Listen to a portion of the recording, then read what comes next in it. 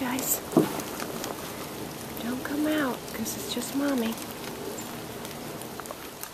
Another wet day. Hey, Artie. It's okay. Well, hi, Kate. It's a good spot, huh? I think that was Wendy's spot. Anybody else home? There goes Archie. I missed him. Anybody else home? Who was in there? Oh my god, it was Wow, I'm slow. Katie. You are so sweet, my love. Miss Katie. It's okay. You want to be on TV? On, on the internet? I love you. Thank you.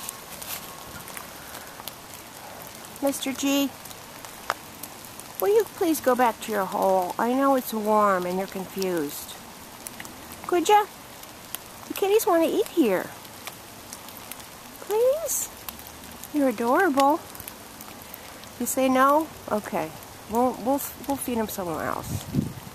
I hope I don't see you tomorrow because that means you're doing good. Take care, buddy.